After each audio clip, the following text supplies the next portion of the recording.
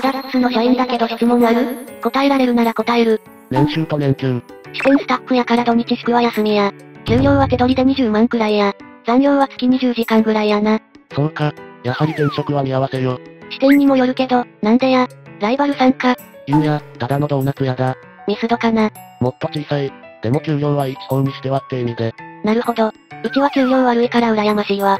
年収だとどのくらいなん ?300 程度かな。ナスは1.8ヶ月やで。多分それでも地方ならマシなんやで。俺は400近いあたりだけど、辞めてったやつは後悔してるから。ただし年給は100日くらい。店舗の店長とかマネージャーとかなら休みは少なくなることもある。配属先の店舗は、まあうんやな。そんで給料上がってはいいけどな。残業代はつけてもいいで。ただ、労務費が予算超えたらあかんで。っていう鬼畜しよう。上がらないみたいですね。毎年の定期昇給はあるけど、まあ数千円やね。どこかと思ったらカラオケか。やっぱ酔っ払いとかで問題出まくる？基本的にはフロントさんは酔っ払いに慣れてる。ランナー、ドリンクとかフードとかの運び係さんは慣れてない人もいるから、暇な時に、一曲歌って決定言うとわたわたする。なんでカラオケやめるん？決算見るとわかるで。13億の赤字のうち、カラオケだけで10億近くの赤字作ってるからな。あらまあ、そっか残念やな。でもカラオケ館の運営と言いつつシダックスの名前は残すらしいからな。売り上げのいい店舗は、給食のイメージもある。そっちがメインなんやで。自分は病院給食とか保育園給食とか老人ホーム給食とかをやってるところや、ラブホ代わりにするお客に遭遇したことある？コンドーム落ちてたことはある？でもまあ、セックスは楽しいからな。カメラで見てるのと違うの？シダックスにはカメラはないで。だからやりまくってええんやで。またまた。まあカメラがないのはほんと。ただ、B&V、カラオケ館、になったからわからんな。正直、俺らも意外やったし。カラオケ畳むの今聞いたんだけど、人員整理的なことは起きてるの？基本的には、正社員、B&V に出向。契約社員、バイト、シダでもカラカンでも選んでいいで。こんな感じ。契約社員の人って経理とかそういうの？契約社員は2つに分かれて、一般契約、1日8時間を週5っていう内容やのに正社員じゃない人たち。専門契約、労働環境は上と同じやけど、調理師さんとかのスキルあるから時給高い人たち。なるほど。資格が大事なんやな。管理栄養士とかなら月3万もらえる手当あるからな。ちなみにワイは栄養士も調理師も何も持ってないで。経理とかは正社員のお仕事や。日の丸鉢巻きつけて大音量で文化歌ってたら帰り変な対応されたぞ。そりゃスタッフも一般市民やからな。前に見た社食は秋のキノコフェアとかポスターとか作ってやっててなんだかファミレスみたいだったな。そうしないと、食数減、この会社ダメかも別会社へ。ってなるからな。フェアは大事って本部は思ってる。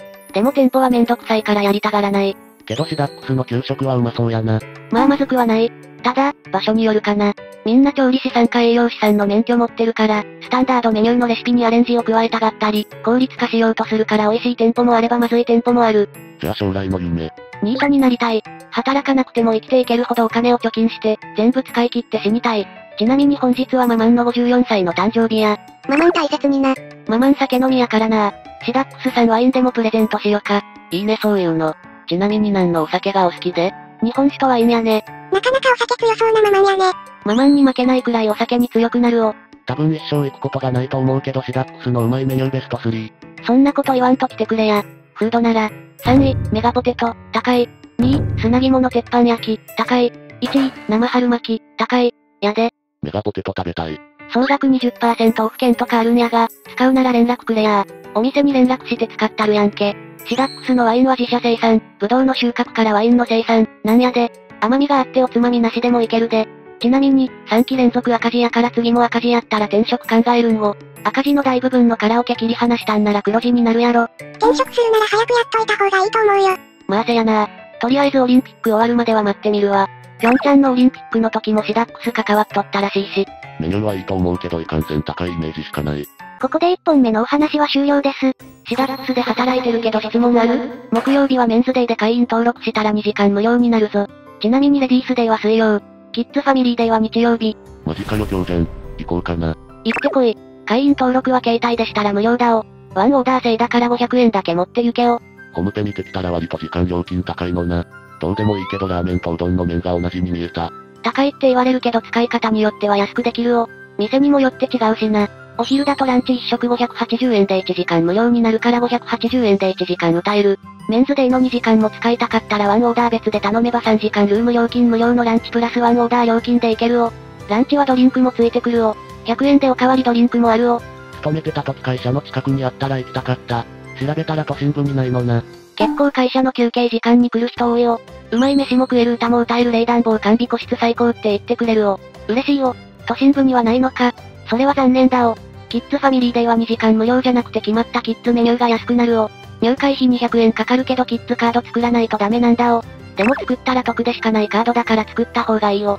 人数分のドリンクサービスつくし、子供の誕生月にはワンホールケーキプレゼントするよ。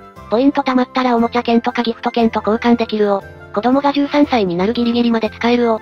基本小学生までルーム料金かからんしワンオーダーもいらんから無料で利用できるよ。大人1人と小学生以下の子供5人でも大人1人のルーム料金とワンオーダーだけで済むよ。キッズカード作ってればドリンク人数分、この場合6人分、無料でついてくるからワンオーダーは適当に頼めばいいよ。主婦のパートいる ?30 半ばでも働ける？うちの店には主婦多いよ。むしろ高校生いらんから主婦にバイト来てほしいよ。でも楽だと思ったら大違いだお。他のカラオケ屋さんはゆるゆるしてるけどシダックスはちゃんとしてるお。ビッグエコーで働いてたから大変さは分かってるつもりだお。他のカラオケでも働いてみたいな。逆にビッグエコーのこと知らんからすまんお。うちの店にぜひ来てくれお。やる気のある人欲しいお。うちの店のランチはオープンからラストオーダーは15時までだお。他の店も大体同じのはずだお。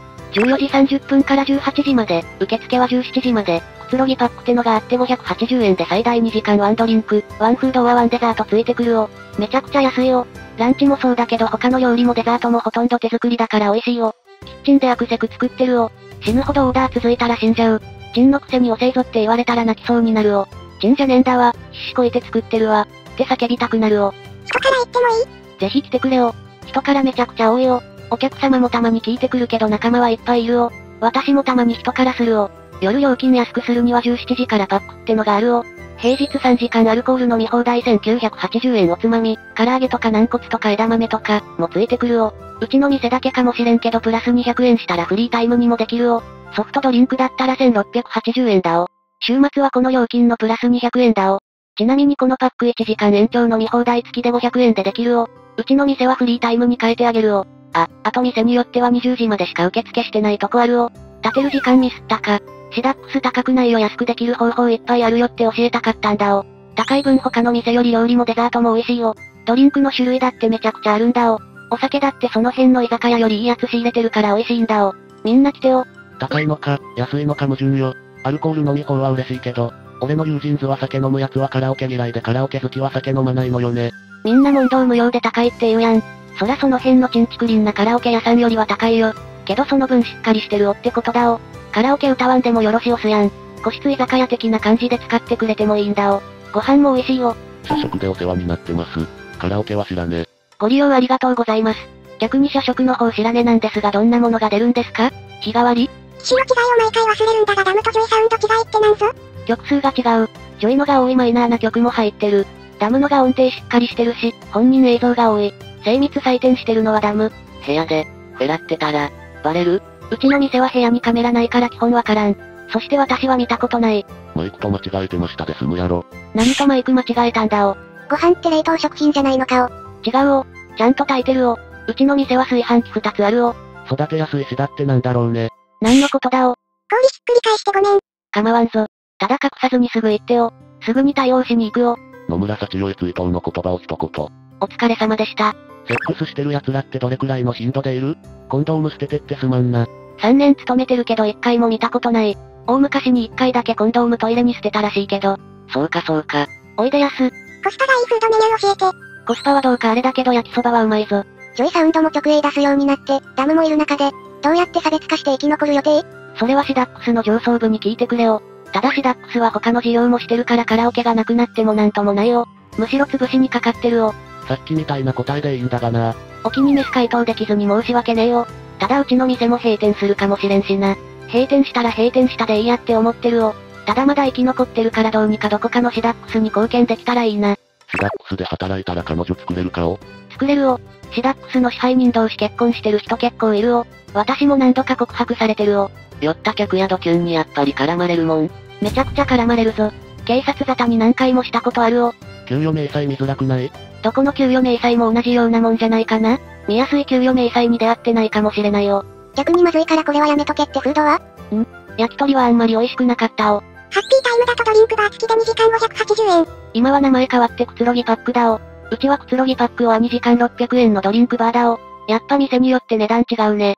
ドリンクバーのやつはやってる店とやってない店があるお。元はドリンクバーのセットはないからだお。もともとはなかったということはラッキーだったってことか。株主優待券使えばたったの40円でドリンクバーついて2時間だからやったお得。家の近所と渋谷にあったのがなくなったのはショックだった。